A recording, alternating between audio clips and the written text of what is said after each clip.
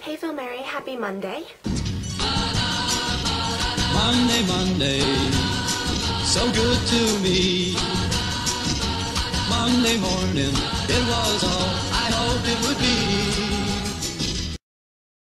So this is going to be a pretty short video because I have so much to do today. I was awake until like 3 in the morning because I was having like mini a panic attack in my head trying to figure out how I'm going to do everything I need to do over the next month and how I'm going to pay for everything I need to pay for over the like next month because my show is running two weekends this year.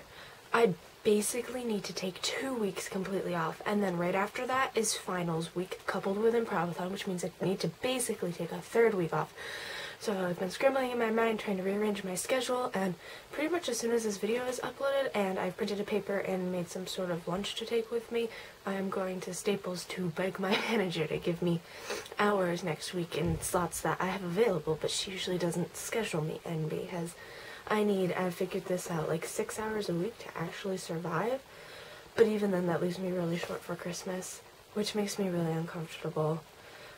I like to be that person who gets a lot of presents for people because I really, that's the part of the season I like. I like the giving part of the season. So this year, having not much money has been tough. Um, I haven't gotten anything from my parents yet, and what I've gotten from my brother is definitely below par, and it just makes me a little bit disappointed. And yeah.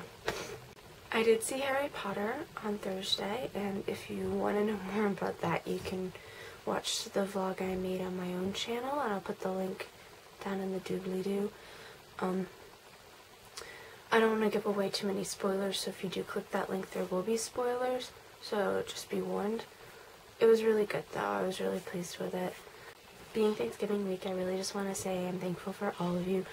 I'm thankful for a lot of things in my life, no matter how stressed and hectic I feel like my life is right now. I know that there are so many good things, and I, I, am grateful for those things, for the people, for the events that I've been to, for the things that I have. And I know I complain a lot, and I don't want you guys to think that I am not grateful, because I am. I really am for a lot of things.